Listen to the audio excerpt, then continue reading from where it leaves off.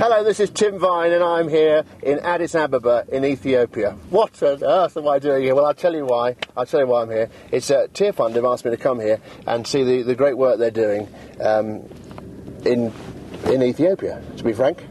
Uh, but uh, it's it's exciting, but at the same time slightly frightening. And I'm clutching my belongings here like a man clinging on for dear life.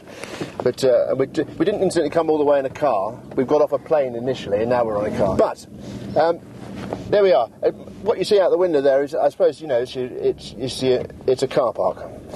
Um, but uh, as car parks go, it's an, it's an exciting one because it's in Addis Ababa and that's where we are.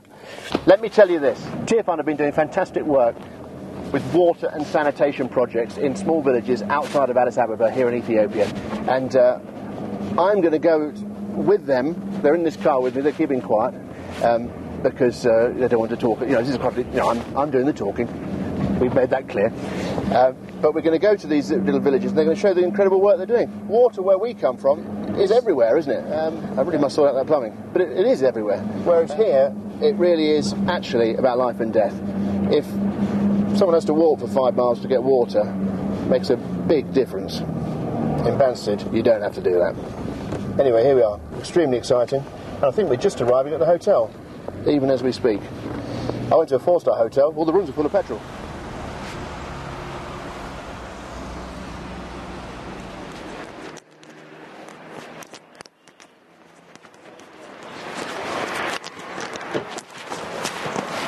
Right.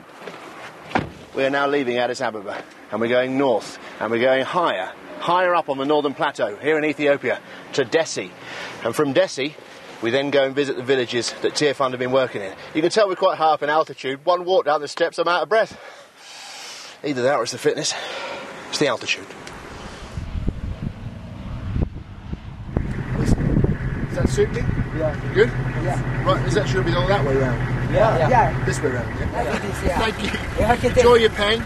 Yeah. Good luck. Great to see you. Okay.